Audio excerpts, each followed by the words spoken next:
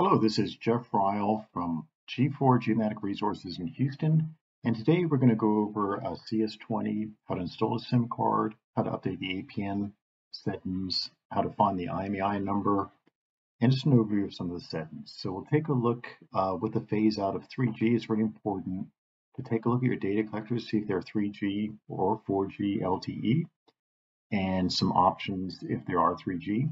Uh, we'll take a quick look at what type of CS20 you have, and uh, where the IMEI numbers is uh, located. We'll take a look at the different SIM cards that are available, and um, we'll go over how to swap out the SIM card and how to update the APN settings in your network rover, and also some basic network rover settings. Okay, so um, let's take a quick look uh, at the older Viva data collectors. So right here is the CS15. Uh, it's got the keypad and um, what I can do if I pull the simulator up, uh, I can back back out to the main screen. So I hit user, number four, about Viva, number five. I'll come down here and I can see is WLAN, is there yes or no? So what's interesting is uh, a lot of CS15s will have a WLAN. We can hook up a hotspot but if it says no, there's a first generation of CS15 that actually did not have WLAN. And around two years into the product, the, the 3.5G came out. Once again, that's to be phased out in February. But a WLAN will allow us to hook up to a, uh, a hotspot. Okay, the older CS10s, once again, they do not have WLAN. So you have the smaller CS10, it's not possible to hook up a uh, hotspot let's go with uh, go forward with a new data collector. So that's really important. Okay. Um, also, there's the CS20 Basic. We notice the Basic because it has the gray or silver keypad, and this one is a lower cost CS20. Uh, there's not a lot of them out in the field, but there are a few. And this one was mainly designed to hook up uh, to a, a uh, total station but it can interface to a GPS unit. Um, but there's no internal radio for the robot or there's no internal modem. But there is WLAN, so we can hook up a hotspot.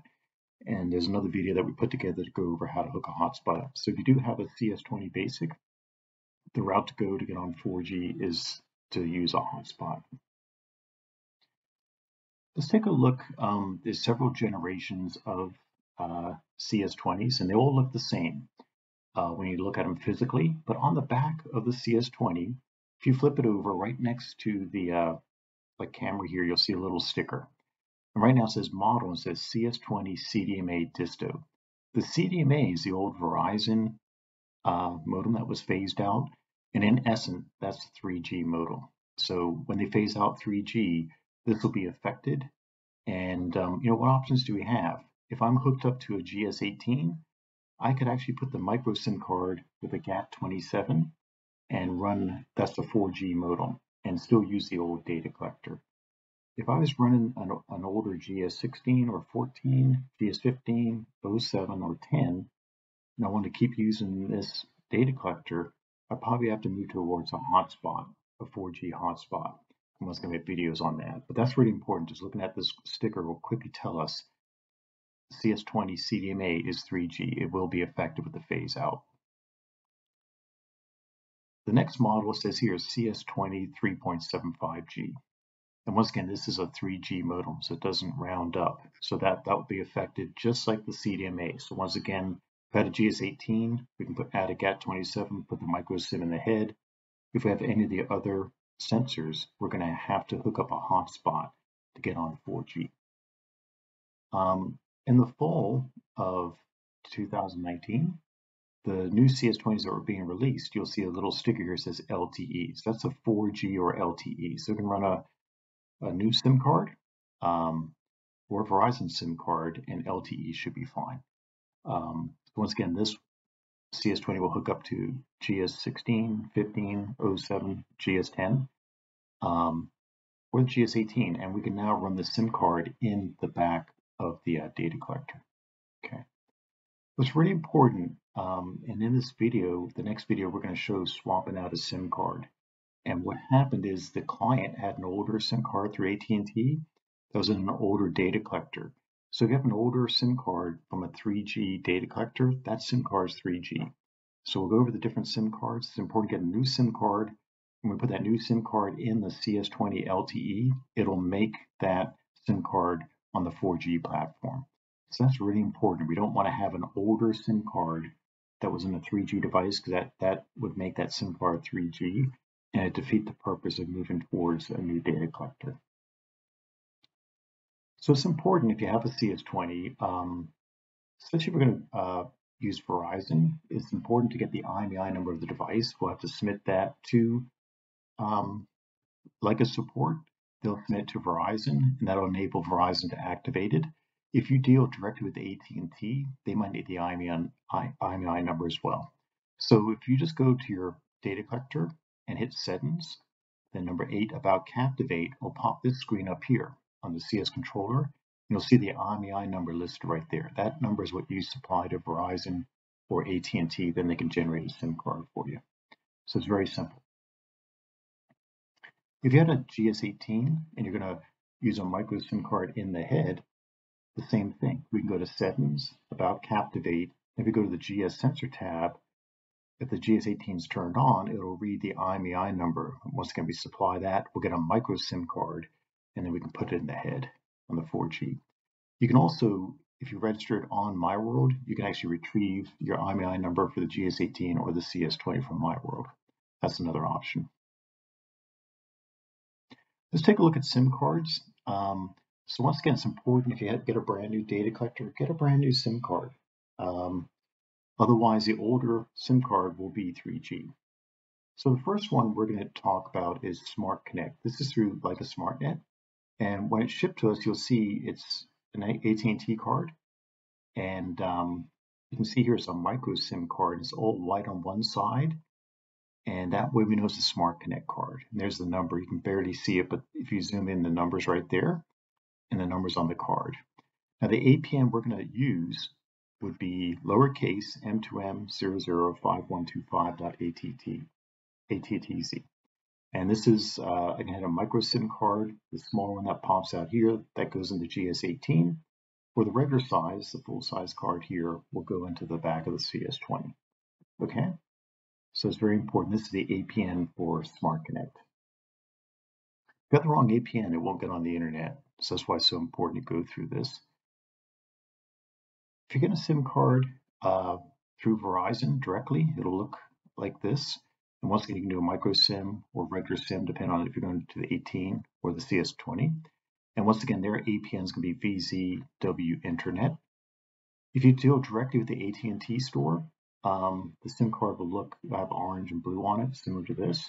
That way we know it's different from Smart Connect, but the APN is broadband. I'll also do lowercase broadband. Um, and I put these in the order that we'd recommend them. The last one is T-Mobile. Um, some they were going to have like a 2G fallback, but the coverage is getting worse and worse, and you'll see looks like it's uh, purple. And their APN is fast.t-mobile.com. Broadband will also work the T-Mobile we're seeing weaker cell phone coverage, so I, I recommend the first three options.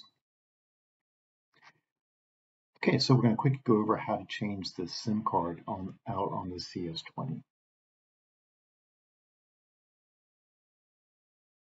Okay, this is a CS20 and we're going to go over how to swap out the uh, SIM card. So we're going to take off the battery compartment and we're going to flip the black flap back and you'll see the old SIM card. This is an old SIM card that was 3G. And we'll do is slide that little bar back and that'll pivot and we'll lever that up and gently slide that out. It's kind of uh, not the best design. And we'll leave that up. And then we've got a new SIM card here. This is an old white SIM card. So it's actually a Smart Connect card. It's brand new. So if this is a 4G LTE, we put the new SIM card in. You can see up here is LTE. And just slide that in and then slide that bar and lock it into place. And that's how you swap out the, uh, the SIM card. Just one quick note, when we put the SIM card in, uh, you might notice the hex end was at the top of the card, uh, on the top. So once again, we put it in with that hex uh, facing the bottom and the contact space in the bottom as well. Okay, so that's that's the uh, that's how you put the SIM card in the CS20. Uh, if I was going to use a micro SIM card, we pop it out. There's one ring around it. The contacts would go up, and we slide it in. And once again, the GS18's got a 4G modem, and once again, we can use a Smart Connect micro SIM, pop it in here. Then we'd have to set up our CS20 to access the GS, uh, the internet through the GS sensor. So that's how we put the SIM card into the GS18. Okay. Um, we're going to take a quick look on how to update the APN settings now in Captivate. So I'm going to pull up the simulator and um, what we'll do is we'll quickly uh, just come on down to the settings, connections, all the connections. On the first tab, you'll see here it says CS connections. And right now, if I edit that, we have it set up to view the CS modem. Okay, so we hit OK. This F4 control will pop up, and that's where I type in the APN. So in this case, it's a Smart Connect card, lowercase m2m005125.atc. Then we'll hit OK. All right. We'll quickly go over the other settings. Um, if I hit the GS connection tab, the first line says RTK rover. I'll hit F3 edit and right now we're going to receive RTK data. We're getting it through the, the data collector.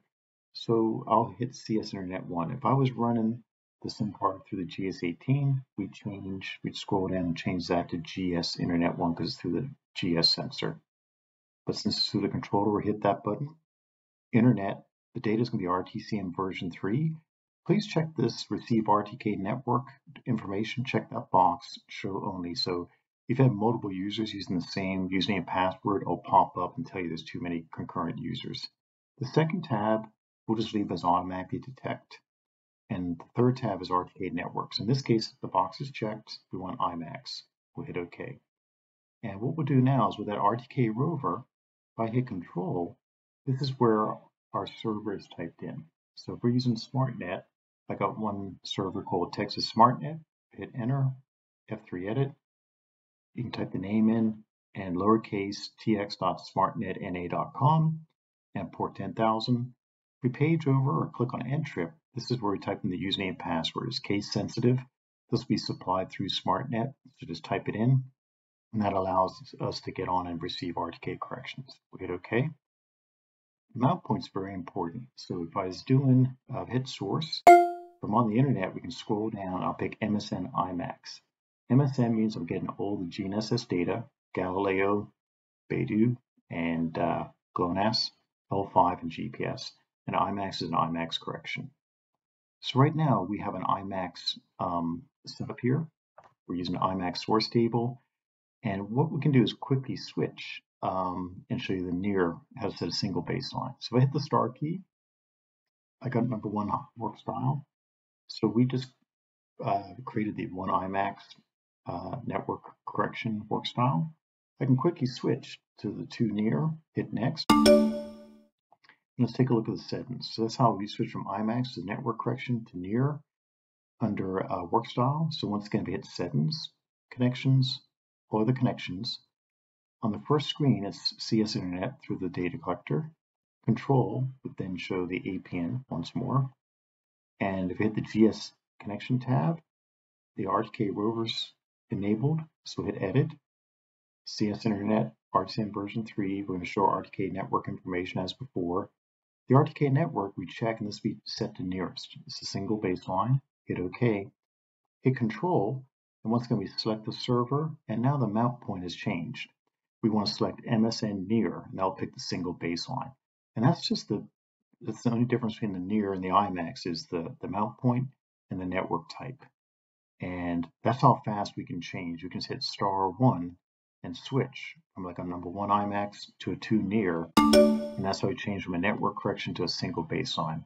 The main reason we do this, if there's bad weather, storms, lightning coming in, the near might allow us to keep working if there's no lightning within a few miles of us. Okay, so that's a quick uh, video on uh, the, the APNs, IMEIs, and the settings on the CS20. So I hope you found that beneficial and thanks for watching.